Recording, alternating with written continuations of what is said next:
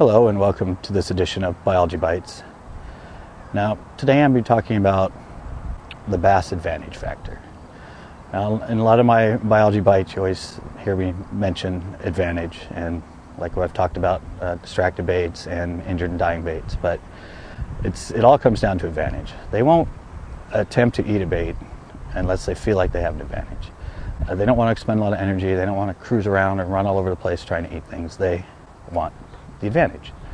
And I have a really good story about this that really takes home this fact that they have to have the advantage or they want advantage to either hit a bait or not hit a bait. Growing up as fisheries wildlife major and that being my degree, I always had lots of tanks in my house, sometimes five, six at a time, all with native species. I had bluegill, red ear, trout, carp, green sunfish, bass, uh, catfish, just any and every native, and I'd also have crawdads in with them and newts and other things, just because it was a good window into how they go about their daily lives. Well, I had this one tank, and I had a good seven, eight inch little bass in there, and his tank buddy was this big seven inch crawdad. Now, the crawdad is obviously a natural prey to the bass, but he never had an advantage. I mean, this thing was as big as him. I mean, every once in a while he'd go down and sort of look at it, and that crawdad would raise those big claws and bass back off and go about his business. One day I came home and I, I saw the molt. And I, I, don't know, most of you probably know this, but if you don't, uh, crawdads have an exoskeleton.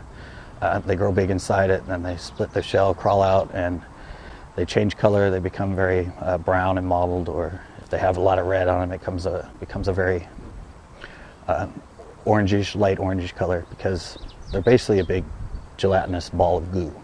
They, they can't move. They need to just sit for like, I don't know, half hour, hour, and let their outer shell solidify and harden, and then they can go back to being this big, mean creature that cruises around the bottom. Well, I'm, I'm looking, and I had a bunch of rocks in the bottom, and I'm looking through it. I'm trying to figure out, you know, where's my nice new shiny crawdad? And I'm looking around, I can't find him anywhere, and all of a sudden I look up at my bass, and he is so fat that you can see the skin in between his scales on his belly. He ate his tank buddy. He'd been living there with him for like almost a year. Never bugged him, never paid me attention, suddenly ate him. Instinct kicked in, the advantage factor. Saw that thing, saw it changed, knew it had no protection, it had the advantage, he ate it. And I, I wish I'd have been there to see it because I, I don't know how long it took him because, like I said, this thing was almost as big as him, but he got it down. He ate his tank buddy.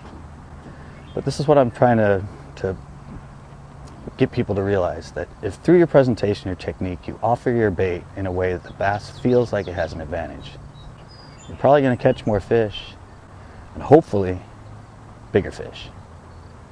I hope this helps. Until next time.